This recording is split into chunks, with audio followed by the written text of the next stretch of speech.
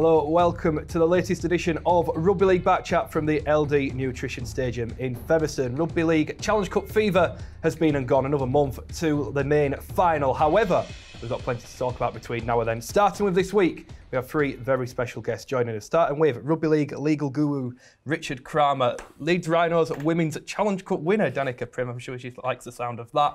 And BBC broadcaster Tim Steere. Thank you everyone for joining us. Danika, I'm going to come straight to you. How's the last few days been? I'm sure you and the rest of the girls are on cloud nine after your victory. Yeah, it's just been incredible. Um, I think obviously Saturday was just out of this world, and then the, the fallout from that and the amount of kind of interest that's got into the, the team and into the women's game has just been incredible. So it, yeah, we are still completely buzzing. The the game itself, you went in as huge underdogs really. Cass have yeah. been flying this year, haven't lost a game. It didn't look like that on the field. It was tight and nervy, but you you edged them.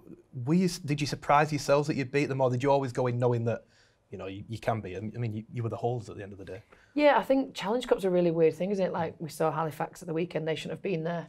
But yeah, we went in. I think a few weeks ago we lost 27 0 to Cass, mainly due to our performance rather than theirs. Mm-hmm. You know, they're a great squad and stuff. But yeah, we knew that we had it in us. Um, I wouldn't say we weren't were worried we knew that we had to play well, and obviously it's Challenge Cup final, isn't it? That's what you want. Um, but we had a really great run up to the to the final in training. Uh, Cuthbert was doing a great job in kind of making us focus just on our game and what we were doing, and we worked really heavily in defence, which on Saturday, uh, I think, basically won us the game. What was the occasion like? Because from an outsider's perspective, the whole build up, the game itself, the way it was treated seemed to be on a different level, a different scale to last year. It was unreal. I, mm. I, I still now, I, I, can't think, I can't really put it into words. You know, we spoke to our to our younger girls and the girls that hadn't been a fan before and said, look, this is a big occasion. It, you know, sometimes it throws people off, but then we got there, we were like, whoa, like mm-hmm. this is next level occasion. Um, you know, from walking out the tunnels with the fire, the Guard of Honour, um, to being streamed on the BBC, you know, to uh, having all of the you know, it, watching it back, it's kind of weird for us because we're, you know, we watch the men's game quite a lot, but it was like we're kind of watching the same as a men's game here, but it's not, it's us. Mm. And then, you know, afterwards, and the whole celebrations, the trophies, the fallout from it was just incredible, and, and we're still kind of like running off on this kind of cloud 9 mm-hmm. about how fantastic it was. Tim, it was good to watch. The coverage was up tenfold on last year, really. How pivotal a moment do you think this was for the women's game? There's been a lot of pivotal moments in the last year or so, but how big was this one? I think this was a, a crowning moment really for the women's game in the sense that Danika's mentioned there that the, the production values and the coverage, the mm-hmm. TV coverage was much the same as the men. The whole stadium, the atmosphere, things like the yeah. cannons going off, everything just built up to it being just like any other big rugby league match. And mm. that's the way it should be seen now, is that women's matches like this, Women's Challenge Cup final, should be seen as big as any other game. So I think it was a, a defining moment maybe for the women's game there that hopefully it can kick on and move forward from here. Hey Richard, we talk about making events out of rugby league. Seems to me that on Saturday, the inclusion of, of the women's game and the, the nature of the two semi-finals, rugby, without trying to sound too positive, rugby league was the winner, wasn't it, on Saturday, really? Yeah, and um, you know, I think what's very pleasing is is that I think now there seems to be recognition of the women's game, mm-hmm. and that's commensurate with what we're seeing in football. So the Women's World Cup was a huge success, um, huge numbers viewing. Uh, we're now seeing cricket, uh, England versus Australia, and um, I think we've come of age now. I think you know, reality is is uh, as Tim said, it's a sort of it's a defining moment, and I think you know the women's um, part of rugby league can be very proud of yourself, and I, and I, think rather than feel a little bit perhaps an inferiority complex, or you know, are we just gate crashing, or do we really belong here? I think now you know you're part part of the game, and it can only get better and bigger. Uh, and um, I think it's going to be a huge success going forward. And uh, I think this is just the start of something very, very exciting. In, in all honesty, look, the Women's Super League came in, it's been massive and I'd say a huge success. But has there been that little bit of, oh, are we, are we really a part of this at times? I know Leeds have been fantastic with the way that they've, how that inclusive they've been as a club, but in general, has it has there been that attitude, that feeling amongst the girls? Um, it, well, yes and no. For you know, like Saturday was phenomenal, and our and our kind of thought process now is they set the start the, the bar really really high on Saturday.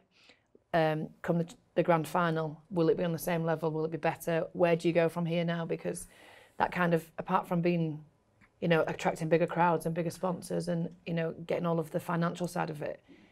I'm not sure how much bigger you can go than Saturday. Um, you know, obviously the, there are obviously little bits and pieces, and in terms of Leeds, we couldn't ask any more. Uh, aside from the fact that we're still amateur in the sense that we don't get paid, we have everything that the men have, so we train at the same place. Um, strength and conditioning, psychological help, nutritional help, um, got physios and doctors and all the medical side of things. And then we've got people in the Super League that don't get the same support from their clubs, mm-hmm. whether you know the financial buy-in or whether the clubs just don't buy in. Uh, so we play York, and you know York are still a relative new club to the Super League, and they don't get half of the financial backing that we get. Mm-hmm. Um, so it's kind of it's more on the fact that how do you make the Super League more of a level playing field for everybody in it? Does, does there need to be a criteria? But then we don't have the talent pool for that. You know, we've seen Warrington; they they're in the Championship and they're quite likely to come up to the Super League next season, um, and they're getting backed by Warrington as a club. So, but you know, the talent pool maybe for Warrington they're out on an edge, so don't have as many players. You know, so I, it's quite a hard. You know, we are trying to set the standard, and for some part of it, you know, the guys at Leeds Rhinos, so the, the lads that play, they wholeheartedly accept us. You know, we're part of mm-hmm. one club. We do like events together. We do player appearances together. You know, we walk past them and you say hi, how are you doing? It's not like you know, I'm, I'm an out and out Leeds Rhinos fan. I always have been, and now I'm walking past the players and you know in the training, just going hi, how are you doing? How was your weekend? You know, Yeah, yeah. and it's insane. Like that's only in the last year, really. But then, so on that side, yeah, we are moving and growing. But how do you keep it? You know, Tom Brindle at the RFL is doing a phenomenal job, and he's really championing our game. And he's the one that's kind of moved the trophies trophies up in line. He's got you know Georgia Roche's Woman of Steel trophy was just on par with the the Man of Steel. So there are parts of it. It's just it bitty is that the right word to use? Um, it's just trying to find that level playing field to all go forward at the same pace at the same time. Tim, in, in your perspective, we saw the coverage on, on Saturdays. I think we all agree it was fantastic. Where's the future for the women's game in terms of broadcasting, in terms of how we can get it on TV more? Our league's obviously been big. Is there anywhere else we can take it on an even bigger scale than that, do you think? Is there potential for it? Yeah, the potential for the, the game is no doubt massive, as Richard's already mentioned with like the Lionesses this summer. That mm-hmm. there is that public support. There is definitely that opinion now that the, the women's game should be broadcast wider in that sense. The online service I think the BBC provided for the Women's Challenge Cup final was very good. Maybe that's something that it could look into more because online is definitely the future in lots of regards in terms of broadcasting. So there is that possibility there. I don't know if Sky could offer a service like that as well, maybe to start off with and then see how mm-hmm. it can progress from there. I know there's talk about Channel 4 maybe coming in with the championship in the men's game. Maybe there's a, there's a possibility of, of a deal to be done there. There's, there's many different ways now that you can broadcast any kind of sport really. So you can't say there's, there's no excuse for them not to be able to have a, a possibility or an opportunity of broadcasting somewhere. Uh, just quickly, Danika, this pact, it's been uh, the talk of social media ever since you won. You're going to have to fill us in on what has happened and uh, what it was all about, please. Long story short, Seb Robinson, our centre, is uh, is ditching us and moving to Australia at the end of August. All right for some. Yeah, moving to Melbourne, and um, so it's- essentially Saturday was her last final. She's not going to be, in, you know, she she might come back and come back to Leeds, but for the near future, that was her last final. And obviously going in as underdogs, we were sat on, on Wednesday. We'd had a good training session. You know, we, the sun was shining. We're not having drinks. You know, we're trying to prep for a final. So she's a bit like, oh, right. If we win, I'm getting a tattoo done of this phrase that we all use. Well, I think Adam brought the phrase in of. Um, yeah, the girls, but we haven't we haven't got that. We've an abbreviated version of that. So basically, she went, yeah, if we win, I'm going to get it. So Shabu's and I were there. We went, yeah, yeah, fine. Training on Thursday, we have this massive inspirational speech from Jamie Peacock. At the end of it, I'm like, girls, me, Sophie, and Shara getting a tattoo if we win. Who's in? And next thing you know, everybody who is of the legal age uh, and willing is uh, now branded for life. Brilliant. Brilliant. well, uh, I wonder if either St Helens or Warrington have any plans for that, gents, because they're obviously in the final. We'll start on Warrington Hull. Um, oh, what a game that was, Tim. That was a just a belter, wasn't it? Yeah, fantastic game. Some fantastic tries in it as well, even though Hull were on the losing side at the end. The, the try for Bureta Faraimo on the left corner. Naulago's run down that right hand side on the outside edge was absolutely phenomenal. Then the crossfield kick as well from Albert Kelly. There, there were some classy tries in that game, really. Both teams contributed to a fantastic occasion. But I think in the end, it was the halfback play from Dec Patton and from soon to be possibly England halfback Blake Austin, but I won't open that can of worms.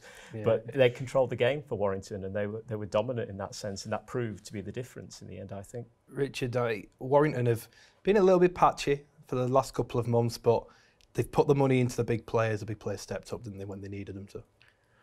Yeah, they're an enigma, Warrington. You just never know what you're going to get. Um, you know, you look at their team, you look at the squad, probably pound for pound, you might even say the best team on paper. Mm-hmm. Um, but sometimes they fail to deliver uh, and they underperform. Um, I've got huge admiration for the coach, Steve Price. I think he has bought into the Warrington culture. I think he's bought into the English culture. You know, he loves. You could see that you know the love of the Challenge Cup, and the, you know, the Australians have got huge respect for the Challenge Cup, and you saw that. Mm-hmm. Um, you know, Hull were very were very good. Um, you know, I think if Warrington would have been slightly off, and have been slightly off the last few weeks, I think Hull could have nicked it.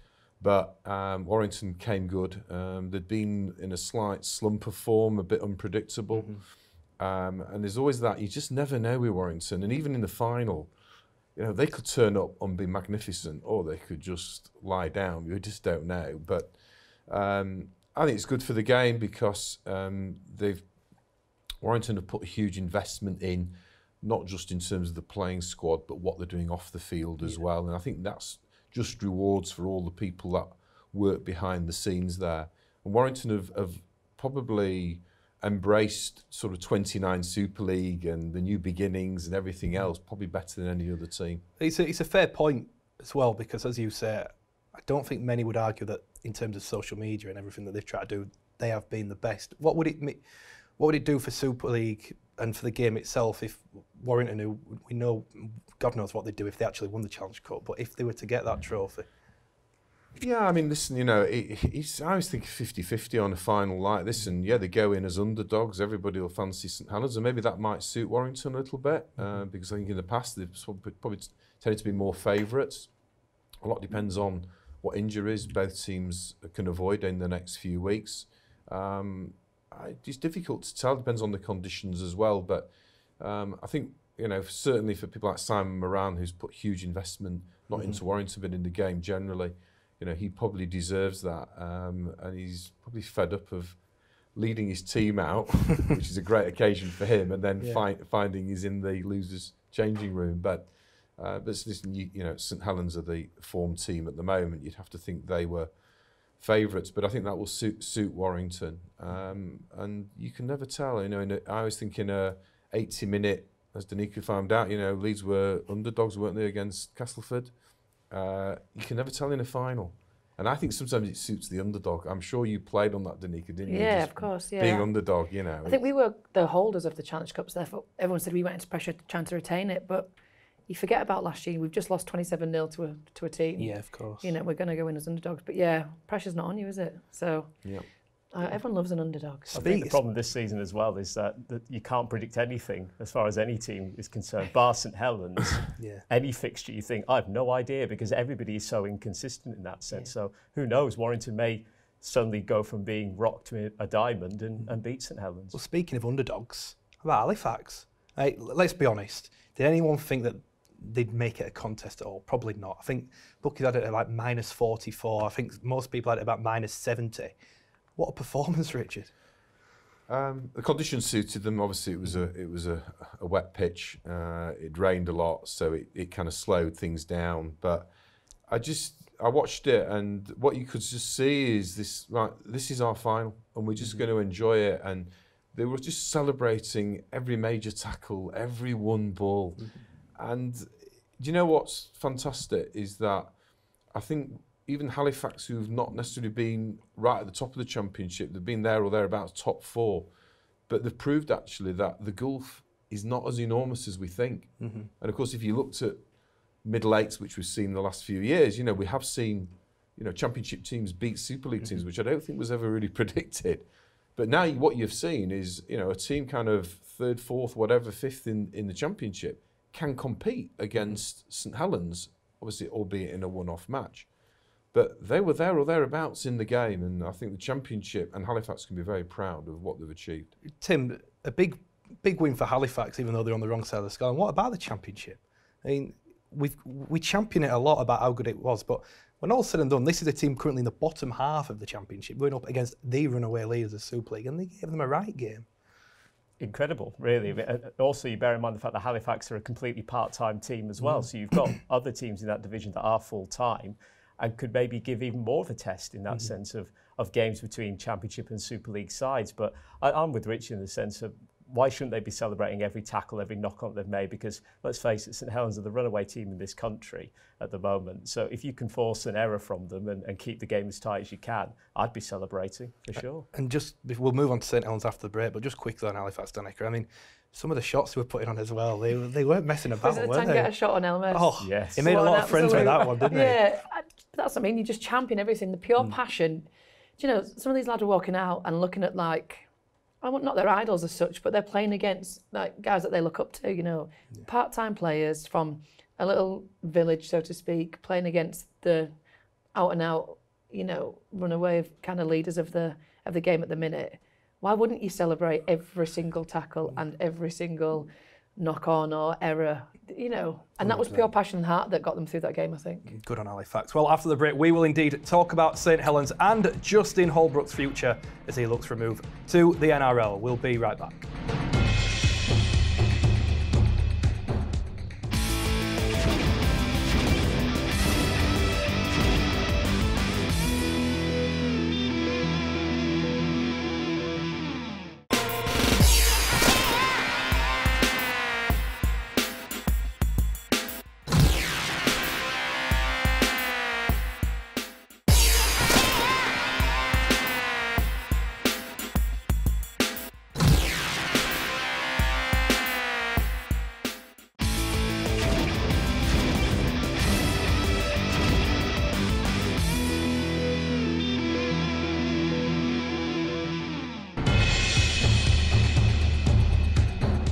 You've spoken and we've listened. Rugby League Backchat is available on podcast form from all your best podcast providers. If you're on a trip down the M62 or a flight to Toronto or Toulouse, download Rugby League Backchat for the best debate inside Rugby League.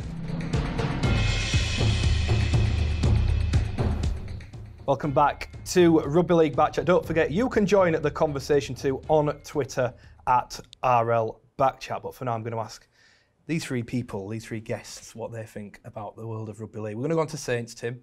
Um, look, I think Halifax was maybe the story, but realistically, Saints were the big winners. They've got to Wembley finally, first time in 11 years. Don't think the result was ever in doubt, was it? Didn't matter to them. They just got the win. How, how impressed were you with them? Yeah, obviously Halifax were going to make it very tough for them because we know that they were going to put absolutely everything they've got into every single tackle. And in a way, there was a bit more pressure on the Saints because there was an expectation that they were going to put 50, 60, whatever on Halifax in that mm-hmm. game.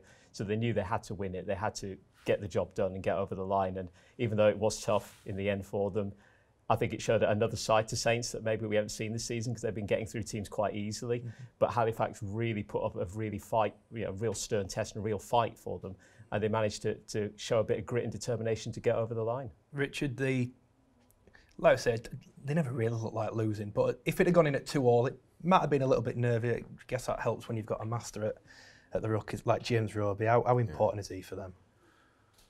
Well, I just, you know, he's not been playing a lot, has he? He's been injured. And, um, you know, I, I, talk a lot to Ellery Hanley because he's chairman of Man of Steel. And, uh, you know, you always sort of Roby always gets mentioned. You know, he's probably the most consistent player in the game. He, he's just he just does everything right. But it's probably what the way I would describe it is is he makes less errors than probably any other player in the competition. yeah. So that just makes him a great player, and and he, he gave having him present, uh, you know, gives them a big lift. And they're going to need experience at Wembley. I, I didn't realise that fact that they hadn't played there for 11 years, even though they've had great success. Um, and then you're gonna get you're gonna get the Holbrook factor now, aren't you? So you know if the rumours are true, mm-hmm. then you know uh, you're gonna get that probably a bit of siege mentality, aren't you? Sort of going in, you know. I think I think they'll want to win the Challenge Cup and I think they'll want to win the grand final as well. Uh, on paper, they are probably the the, the best team. Um, they're the form team at the moment. Um, but I say, you know, I've said before, it's I think it's a 50-50 game. But mm-hmm. I think that edge now with Holbrook potentially on his uh, exiting out will they'll want to do it for him. We'll uh, talk about Holbrook in just a minute. Just on Saints, look, Danika, they, there's no doubt they're a great team. I think many people in the build-ups they said they're probably the best Super League team in 10 years. Can they go down as that until they win a trophy? you know, that it's their form, isn't it? And it comes down to the, the consistency you've been speaking about, and they are the most consistent. But I think going down to Wembley, like you say, it's been such a long time for them to get there. Warrington were, you know, the bridesmaids, so to speak, last year. Mm-hmm. Um, you know, and I think they need to be tested with a big occasion to just to really see how consistent and how good they are. And, and Wembley's going to be just that because, you know, there's a lot of pressure now on the fact that it's taken such a long time to get there and can they can they deal with the build up? Can they deal with all of the, you know, the Holbrook situation? Is that, a, you know, an added bonus or is it a hindrance? And the fact that mm-hmm. what is to come, what is next for them? If, if, if it was you, and let's put you in in Saints' shoes, if you knew that Adam Cuthbertson was leaving at the end of the year, what would the mentality of the players be? Would it be a distraction, or would it would it give you that siege mentality? No, it probably be, would be let's do it for Adam type of type mm-hmm. of uh, go forward and.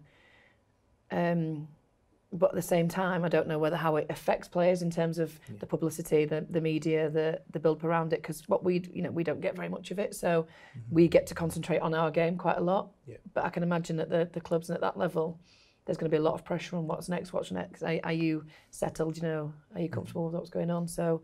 And then just that added bonus of it's taken 11 years, don't don't fail now. Well, Tim, I think you're the best person to answer this question for us.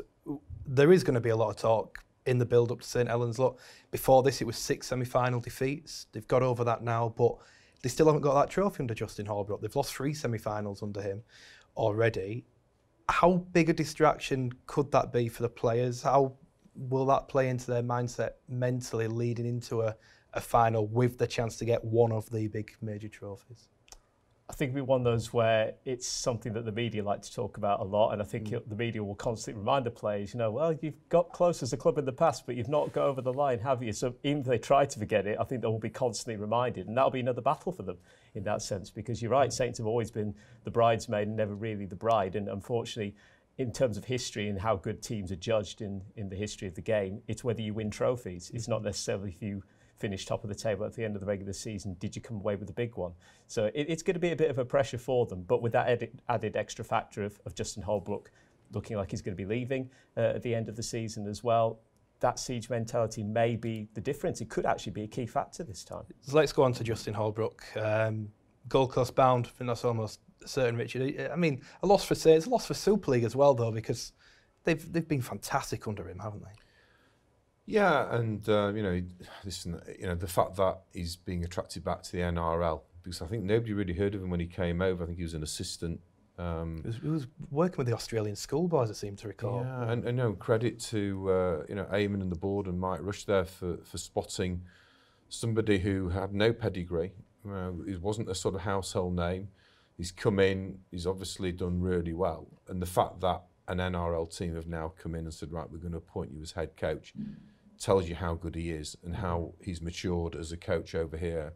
Uh, for St Helens, it's a big blow because you know, the guy is is very good. Um, but nothing lasts forever, and um, if it's three years, which seems to have gone through very quickly, um, then they'll just find a replacement and they just move on to the next chapter. And that's just a fact of life. You don't have a coach for life. Mm-hmm. Um, and um, but no, you have to give credit to him for for what he's done. is he's he's he's managed to get rid of some of the old guard as well. So that's that's not been easy, and he's found some great young players, and he's developed some great players mm. as well.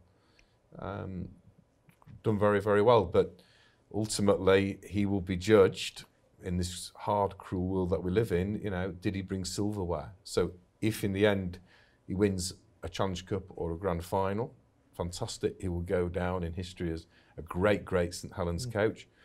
On the other hand, if they finish the season without any silverware and they've been a great team, top of the league, but they never actually won some major silverware, then he might not get necessarily get the recognition. But right now, he's done very well, and they play a very exciting brand of rugby. Mm-hmm. Tim, on another note, he's going to a club that's by far been the worst team in the NRL this year, and he's leaving the top team in Super League. Are we a little bit disappointed that he sees that as a bigger, more attractive job than staying with St Helens? I think it is a shame. Obviously, we, we like to champion the English game, and rightly so. It, it has come on leaps and bounds in that sense, but you've got to understand personal circumstance here as well. Obviously, it's a chance for him to go back home with his family as well, mm-hmm. and and the NRL it, it's, it's a big proposition for any coach. He's a rookie coach in that sense. This is still a big chance for him to really progress his career in that sense down under again. So mm. even though the Titans are bottom of the NRL now struggling at the minute, and there's a lot of talk about their future at the moment, I think there's a lot of concern that maybe the Titans are going to end up moving to possibly becoming a second team in Brisbane by 2023. Mm. So it's a big phase in the Titans season at the moment in Titans history. So it's a bold move from the club themselves to actually turn to a rookie coach mm-hmm. to say, you know, you're the man to try and lead us forward and help practically save our future. Danika, so here's a question that I think will be the big talking point. Who next for St Helens? Adam Cuthbertson. I think he's uh, I think he's still got a little while left on his well, a year left on his career, hasn't he? Playing yeah, career. At least. Uh, I don't know. Do you do you go with a another Australian coach? You go with an English coach? You know, who wants that job of going into a the out and out best team in the league at the minute? That's a, some big shoes to fill, isn't there? I can think of the harder teams to coach though. I don't think they need much coaching at times. Well, yeah, they? there is that, isn't there? They're, they're full of outstanding players, so I guess it wouldn't be. But then, with that, are they hard to coach because you've got so many characters and so many, you know, highly skilled players? So, oh, I wouldn't, I wouldn't wish that job on anybody. I, I, think I'd stick to playing and then maybe just go to uh, being a spectator again. But yeah, there's. Um, I don't know who, who's who's going to step well, up to that. Where would where would you go, Richard? Would you would you go Australia again, or is there enough talent in the British game to to pluck someone from from over here, maybe from another Super League club, maybe a free agent? I'd like to be a fly on the wall of the Saints boardroom with Mike and Eamon chatting yeah. this through. Um, I think you know the, the, appointment of a coach. I think is, is critical. I mean, it's always important, but I think in this day and age, getting the right coach because what they'll want to see is continuity. Uh, Justin's obviously done a great job, and sort of let's hope you know from from Saints' point of view they do win some silverware, um, but they won't want to go backwards now, having sort of got to where they've got to. A great team, you know, they're in with a real chance of some silverware. You know, there's a lot of ambition in that Saints boardroom, and they'll want to make sure they get the right coach. I think they're probably a little bit. I think they probably didn't necessarily see it coming. They were probably hoping they would sign an extension. There hasn't been a lot of sort of rumours that they were in contract negotiations and he hadn't signed or he was going to sign. Um, obviously now it's it's he's heading out. Um, probably the difficult part maybe for St Helens now is is that if you know that your coach is going to leave, say in 12 or 18 months or 24 months, you can almost sort of groom somebody to take over. And so I think this is probably caught them a little bit unawares. Mm-hmm. Obviously, the rumours have been there the last two or three weeks, and Justin's batted it away quite cleverly.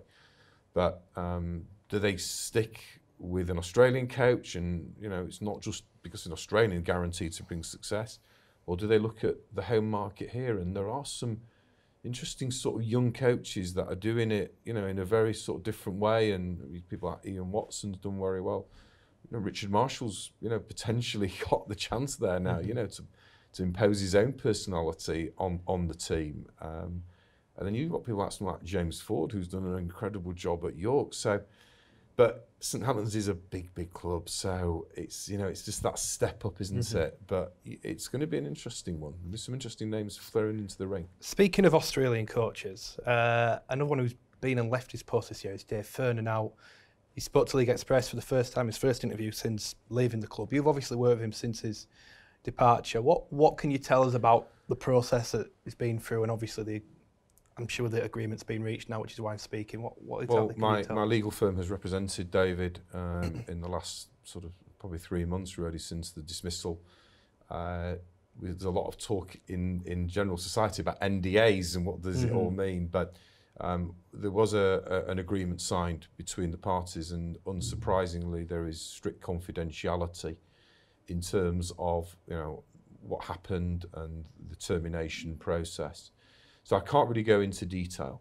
Mm-hmm. Um, what I am pleased about is is that the matter has resolved itself because it did at one stage look like it could drag on a little bit. Uh, and credit to both parties. So for David uh, and for Leeds for resolving their differences um, I- I'm only repeating what David has said publicly. I think he was shocked by it. I think, you know, from his perspective, he saw it as a three-year project. Uh, there was upheaval with his family where he left his wife and his youngest daughter in Sydney, and they were planning to come over in June. Um, he knew that it was a big job, and there was clearly, and it's a matter of public record. There's a rebuilding program going on down there. I don't think anybody would deny that. And he saw it as a three-year rebuilding program where I think year one was going in there, just trying to sort out the way forward. It was no, I don't think Leeds were ever going to line up for silverware this year, but there is always that expectation. Um, I think probably where everyone got a bit of a shock was some of the poor kind of performances and poor results early on. But in generally speaking, in in in Super League, um, there is stability with coaches and clubs, and Leeds of all the clubs actually sh- have shown great loyalty to coaches. If even if you look at Brian McDermott over the years, there was criticisms against him and question marks. And credit to, to Gary and the board, they stuck with Brian and it brought huge success. So I think it was the shock of, of I don't think anybody saw it coming. I don't think even Leeds saw it coming. But it is what it is. These things are never easy. Um, you know, David kept his counsel. That's why really he never said anything until he gave that short interview when he left. It's a great shame for him. You know, I found him um, a real gentleman. He is a rugby league man through and through. It's in his blood. His father was an Australian coach. His brother works at Canberra Raiders. Uh, and I hope for his sake that he gets back on the horse, as we say, and he needs to get back coaching. Uh, and he's now back. He's probably he flew back yesterday, so he's with his family. He probably just needs that period of just right, what did go wrong, and maybe you know lessons learned. But he's a good coach, and I think if you're a good coach, you'll get a job. During your time in rugby league, was it one of the easier cases that you've you've dealt with? I know you've been in the game a long time and seen some very messy things over the years. Yeah, um, I think every every case has its own nuances and idiosyncrasies. Uh, I think for David, um, managing his kind of just thought process through this, I think the shock of what happened did affected him. It had an impact on his health. Um, I think the loneliness of being over here, um, trying to sort of fight his battle with his family back home in Australia was very, very difficult. But I always say with these things, there is a start, there's a middle, and there's an end, and, and common sense did prevail. And I think it's good for everybody because I think Leeds now need stability. I think you know they've just got to focus very hard now on avoiding Yeah. relegation. But it, it had its challenges, but I'm pleased in the end that common sense prevailed. Excellent. Well, after this short break, we will talk a little bit more about Leeds and the relegation battle in general, plus what exactly is going on at the Bradford Bulls. We'll be right back.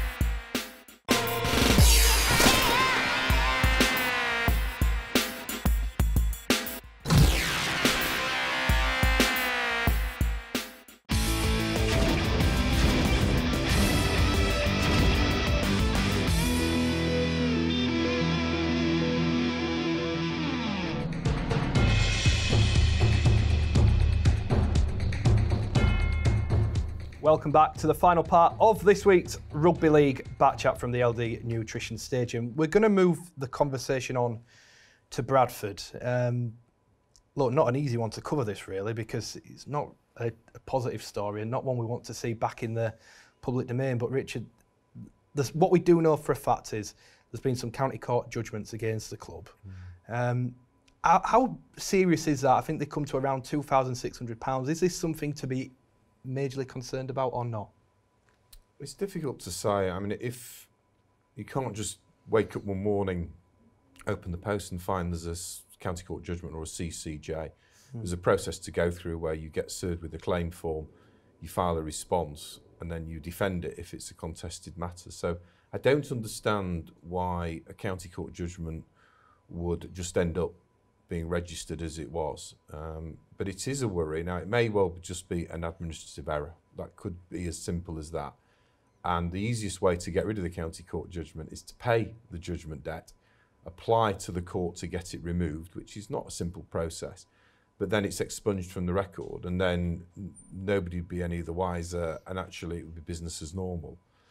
But if it's more sinister than that, in that Bradford do not have the ability to pay creditors, then heaven forbid, because um, I mean, I was involved in the last major issue with Bradford, which was the demise, I think, two or three years ago, um, which was probably the, one of the more difficult matters I've ever dealt with in rugby mm-hmm. league. I had 45, 50 clients, all, all staff. So, you know, let, let's be optimistic that it's a blip and that Bradford are on the road to recovery mm-hmm. and it's business as normal because we, the game cannot afford another another bad episode of any form of insolvency, let alone at mm. Bradford. The other the other thing that's been made of Tim is the fact that some of their central distribution money was was sent to other clubs as part of because of ticket sales and stuff like that, just money that was owed. That's been paid off now with, we believe, which is a good thing. But again, I guess the message here is it, it's just not a great look for the Bulls, is it? Especially given the previous that they've had. It's not a great look, and I can imagine it's deeply concerning if you're a Bradford Bulls supporter because, as Richard said, there's been so many difficult times for them in recent years that they wake up and, and read the story and probably come yeah. out mm. in a cold sweat again, thinking, "Oh no, not again," because they've been through the mill so much over recent seasons, and there's always that fear, I suppose, that once you've had those bad experiences in the past, that they're going to come back again, they're going to reform in some way. And unfortunately for them, it, it's, it's come out in this. But as you said, the amounts aren't as great. So hopefully, if they can pay that off, it can prove that they are financially viable going forward and that the fans don't have to worry because I think that's the biggest thing for the supporters that are we going to still have a club? Are we still in problem? And yeah. hopefully it shouldn't be the case. How damaging could it be for the Bulls and the image of the sport, Danika, if if there is an issue again, a, a big one? Because like Richard, we, we we need the Bradford Bulls. We need all of our clubs. We also don't need this sort of financial issue, do we, at a club like Bradford? I know you think you see you, you automatically think of Bradford Bulls and you know and and from when I was like a really big fan, well I am a big fan, but of the sport, you know the the Super League days and the mm-hmm. the big Bradford Northern derbies and things like that, and and to see them come into this kind of state is, it, well it's it's sad first thing you know first and foremost, isn't it that they've got to this level, but I think Odsal, as awful as it is, is just um, one of those places that you go and um, you love the fact that it's still very old school. It's still a bit tatty. It's still a bit um, run down. Is that the right word? I don't know, but um, I think so. But it's got its own charm. Yeah, but that's it. That's the part of the ca- it's yeah. a part of the character, isn't it? When I when we played there with the girls, you know, somebody turned up what we're doing. I was like, this is brilliant. Like, it's a time to play. But um, you know, in terms of the of Bradford and the fans, you know, they're some of the most loyal, I think, um, that I've ever come across, uh, particularly when I played there for the women's team as well. They turn out for us, but you know, for them and, and the players there, it's just one of those that you really want them to pull through and this to be, mm-hmm. you know, yeah, like you say, small amount. Can this just be a blip? Can this be covered? And, and can they come through it? Because I think we can't really afford to lose another another team in, in rugby league. We're a very mm-hmm. small northern outfit, aren't we? And uh, the more teams we get, the, the better our sport will be and the bigger it will grow. Richard, speaking of Odsal, Andrew Chalmers has come out and said they might not play at Odsal next year. There's mm. talk that they could go to Dewsbury Rams. There's mm. talk they could go to Bradford Park Avenue. Mm. What what's what are we thinking when we hear that? Well, I suppose it's just balancing the books, isn't it? What we don't know, and it's there's obviously the Rugby Football League, as I understand, it's still or the freeholder, so they're the mm. owners mm. of Odsal. Um, and then presumably Bradford pay some kind of rental income, so it's on a lease but you know it's what's what's behind there, what the bar takings, who gets what there. Mm-hmm. Um, it, it, if you had Bradford Bulls in Super League, you know, you could recapture those great sort of derby matches and all the fighting that used to go on with mm. Jimmy Lowes and Stuart Field and Jamie Peacock, and it was brilliant. Which is those are just great sort of Good Friday games. We're getting 20, 22,000. Then it no, if it, no matter how run down it is, it doesn't really matter. It was no. perfect. But if it's a club that's going to be living in the Championship and he's not going to get into Super League, then clearly it's not the right house. It's not the right accommodation But for Bradford. The, the ticket price comes into to play. Not you know, we played a curtain raiser for the men a few weeks ago, and it was twenty five pounds a ticket to watch our game and the men's. Like, like the day that somebody pays twenty five pounds to come watch the women's game is the day that we know we've made it. Yeah. You know, and so just for for our fans alone to come and watch, I think that's if for a championship club. What is should there be a, a ticketing price set in order Well, to? Well, that's for family four. Uh, without kids discount, whatever, that's a hundred pounds. That's a lot. That's a lot of money to for a watch Bradford family. and So Swinton. yeah, um, I don't know. I mean, we, you Don't know, we can only. I don't know what the. Well, I don't know what the business plan is. Um, it may well be a lot of bluff because clearly, if Bradford are in negotiations with the RFL, or they want a lower rental kind of um, uh, obligation, then um, maybe that's the bluff. It could be a negotiation to say, look, you know, we're going to leave here. You'll have a white elephant. You'll have a, a, a you'll have a, a property with nothing with nothing to do out of it. And I think there is certainly. I know there's a covenant for it to be used for rugby league purposes, but where Andrew Chalmers and his board have got a bit of a, an advantage is is that um, there are other options in the area. So I'm not necessarily. I don't necessarily see them going to Dewsbury because I don't think it's big enough. But um, you potentially got um, Bradford City, Valley Parade, although That'd be too expensive though. well, that It- probably could be, and he probably again more suitable for Super and League. if you look at the accounts last time out, I think they'd lost over half a million quid. yeah. Can they really afford to go to a stadium like Valley Parade if they're having to leave Odsal? Yeah, I mean, it's again, you'd probably say Valley Parade was suitable for Super League, Mm. but um, but uh, Bradford Park Avenue is clearly another option. I don't know what that capacity is, but I think there is a connection there actually uh, between Bradford Park Avenue. I think the chief executive there has got a strong connection with Bradford Bulls, so Mm-hmm.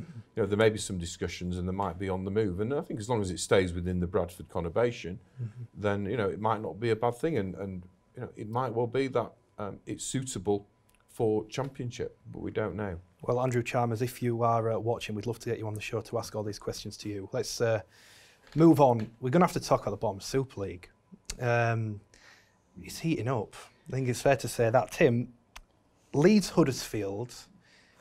I think we said nearly every week on the show, is this the biggest game of the season? For Leeds and Huddersfield, probably is the biggest game of the season so far, isn't it? It's a huge game. I don't think you can really put it into words just how big a game this is. I mean, we've had some incredible games between Huddersfield and Leeds in the past. I mean, there was that iconic Ryan Hall try with the Super League trophy was in the sky and a helicopter circling the stadium waiting to come down. And this is going to be equally as big for different reasons in that sense because these are two teams that are really fighting for their lives at the moment in terms of their form, in terms of league position. They'll be desperate to get a victory under their belts. Add into the fact it's a West Yorkshire derby as well. It has all the ingredients really to be a, an absolute firecracker. Danika, you, as you mentioned, get to speak to Leeds players a lot. Um, what's their attitude like? Do, do they come across as a team that's in a relegation battle at the minute, or are they fairly relaxed? Um, I wouldn't say they're relaxed. You know, look, there's, there's a, a lot at stake, isn't there? Um, but I think with the, the new addition of the players, I think uh, with Richard Agar coming in, more consistency. You know, just settling down a little bit. I think there's been an air of um, relax is not quite the right, right word to use, but you know that consistency coming through. The, the players, the, the they're a bit more kind of consistent in their training and what they're mm-hmm. doing. And I think performance-wise, we might not have always got the win, but I think as a performance, generally, I think Leeds have looked to be better and, mm-hmm. and go forward. And I think, like you know, th- this this week's going to be a brilliant game for the for the two of them, and so important. And it just depends now who. I know it's that cliche thing of who turns up on the day thing, but that is with Leeds. You know, they've got the the talent pool, they've got the skill to contest with the the bigger teams in Super League. It just depends on how it goes on the day, I think. And Myler having uh, Robin there in, with his halfback mm-hmm. connection now, I think that's much better. And you know, bringing in Reese and and and other, you know, just big some powerhouses through the middle and driving forward, and having Trent now as captain, who who really does lead by heart. I think mm-hmm. you know. Put his skill aside, the passion and the heart that guy's got to, to lead his team forward. He's ready to put his body on the line. So I think mm. more of that going forward, and I think we, we might be able to scrape through. And Who would have thought, start of the season, Leeds Huddersfield on a, almost a relegation? You'd have thought, you know, this should be for top five, shouldn't I it? know. Well, you, uh, even oh, I, I just I'm fed up trying to predict things with this sport anymore because you just can't do it. But on Huddersfield, they're two points clear at the minute of the bottom three. If they win, are they safe? I think so. Yeah. Yeah, we all agree. I'd- I'd confidence say, they'll get yeah. as well from beating Leeds. And uh, but the interesting aspect is, is you know, London will be looking at their fixture list, and with all due respect to Salford, who've been phenomenal this year, Ian Watson's done a great job, galvanised a great team. But London will be thinking this is a bit of an opportunity for us. Just get them on a, get them down there on that pitch, and just on a slight off day. Uh, uh, Danny Ward will be thinking this is a potential two points. Well, I think we'd be foolish to try and predict any result in Super League this year because it's just bonkers. But you would have to say London at home to Salford is a bit more likely than Saints who play Wakefield at home. I mean, Wakefield aren't playing great anyway. Hull have a tough game as well.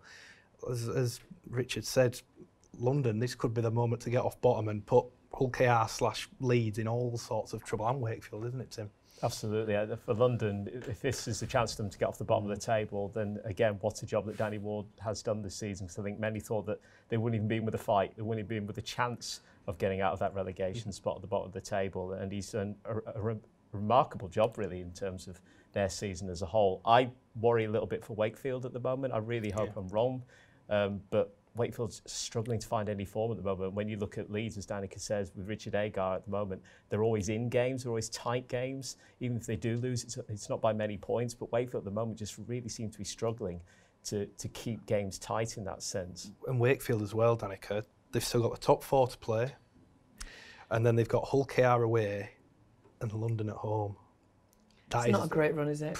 And they've got injuries, and they're short. They're and short on troops. I, I think if we're honest, it's probably players that are playing injured as well. David Fifita looks like one who Yeah. is injured. And they've been battered around the box, haven't they? They've confidence-wise, it's not going to do them much. No. You know, and it's hard for me to say this as a, a Rhinos player and supporter, but there's part of me that really wants London to do it. Well, right. Here's the question. I ask this every week, and I'm sure everyone who watches this show is fed up. Is anyone willing to say that London will stay up? I'm going for it. Wow. I think you may be the first one. Tim. I'm going to say it.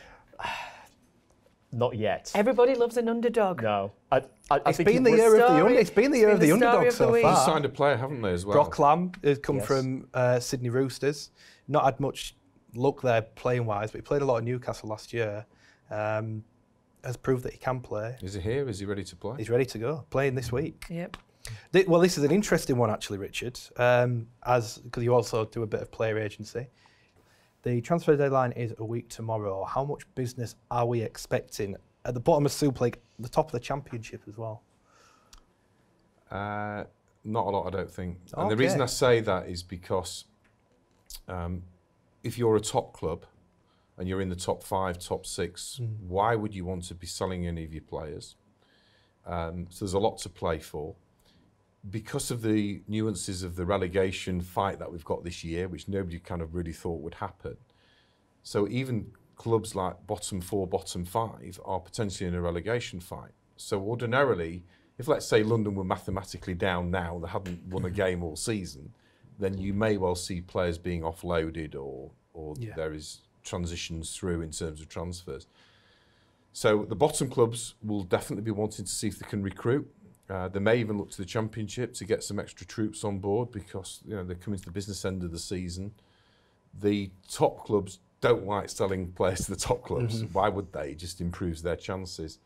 So they may see a little bit of movement, um, but even the clubs in the championship, clubs like Toronto, Leigh, whatever, they will be wanting to make sure they've got the best squads available. Tim, we are very, very, very short of time, but just quickly, George Burgess got a Wigan. How big for Super League? And for Wigan. Oh, it's massive. Absolutely massive for Wigan. Ab- absolutely massive for the Super League as well to be able to attract a high caliber player like him in the prime of his career as well, 27. So he's still got plenty of years in him to bring a talent like that to the Super League. I think it just shows how much the English game is growing at the minute. Yeah, I agree, Tim. He's, obviously, George Burgess is great. We got Gareth Widdop. Um, I've already forgot them all. Sosaia Feki, Matt Hafanua, Manu Ma'u. I'm sure I've done someone a disservice by missing them there. There's a lot of good players coming over from the NRL. We can safely say, can't, can't we? Right, that's all we've got time for. Let's end on that positive note. Don't forget, you can join the conversation too on Twitter at RL. And if you've got any questions for us in the next week's show, feel free, get in touch. A big thank you to my guests, Richard, Tim, and Danika. You can see I'm assured that tattoo on Twitter. That's all we have time for now. Big thank you from all of us here on Rugby League Back Chat. For now, Goodbye.